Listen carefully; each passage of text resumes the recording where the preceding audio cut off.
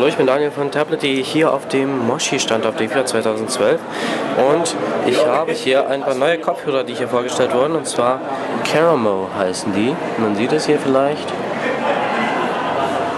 Auf jeden Fall so heißen die, Keramo und ausgeschrieben.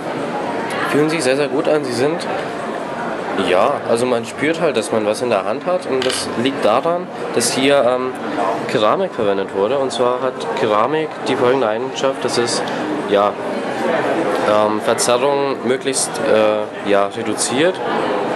Und genauso ist es auch mit diesem Gehäuse. Das sieht halt ziemlich cool aus, asymmetrisch nennen sie das.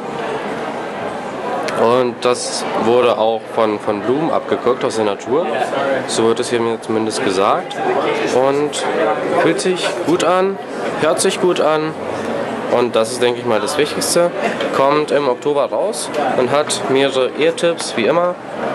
Und ein folgendes cooles Case, damit man das Kabel und den Stecker nicht kaputt macht. Und ähm, die Kopfhörer auch. Sehr, sehr klein, cool, ähm, hört sich gut an, wie gesagt. Das ist also das äh, Keramo Headset von Moshi. Wird im Oktober rauskommen für einen Preis von 119 Euro.